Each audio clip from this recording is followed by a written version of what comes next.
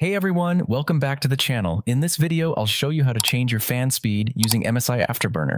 It's a quick and easy process and I'll guide you step by step. If you find this video helpful, don't forget to hit the like button and subscribe to the channel for more tech tips. Let's get started. First, open MSI Afterburner on your computer. Once the program is launched, click on the cogwheel icon to open the Settings menu. In the Settings menu, click on the right arrow at the top to go to the User Interface tab. Here, you'll see a drop-down menu. Click on it and select the skin called Red by DRX Design. Then, click OK to apply the skin. Now, you'll notice a fan speed control at the bottom of the screen. To change the fan speed, first, click on the Auto button to disable automatic fan control.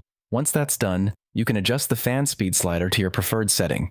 When you're happy with the fan speed, click the check mark to apply the changes. If you want these settings to apply every time you start your computer, click the Apply at Startup button. If you ever want to go back to automatic fan control, just click the Auto button again and apply the changes. It's that simple.